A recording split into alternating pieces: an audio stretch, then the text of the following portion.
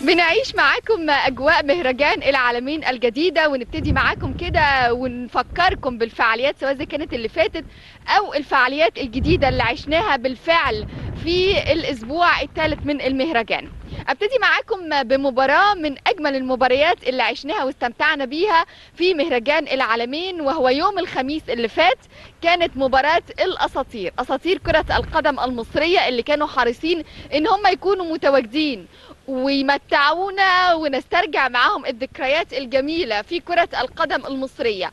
طبعا كل أساطير كرة القدم المصرية بنقول إن هي الأجيال الذهبية كلها اللي طبعا كل عشاق الساحرة المستديرة بيكونوا حابينهم وحابين إن هم يتفرجوا عليهم حتى لو بعد سنوات طويلة جدا. شفنا واستمتعنا بمباراة كانت ضمت نجوم كتير جدا زي كابتن أحمد حسن وأيضا الكابتن حازم إمام أحمد حسام ميدو كابتن حسني عبد ربه عبد ظاهر السقا عبد الستار صبري عمرو الدسوقي خالد الغندور جمال حمزة آه شو كابتن وليد صلاح الدين كان كان مدير فني مخضرم جدا في المباراة.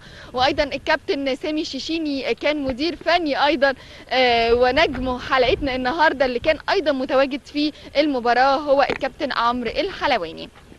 المباراة كانت ممتعة جدا عايزة أقول لكم وخدت صدى كبير جدا على مواقع التواصل الاجتماعي.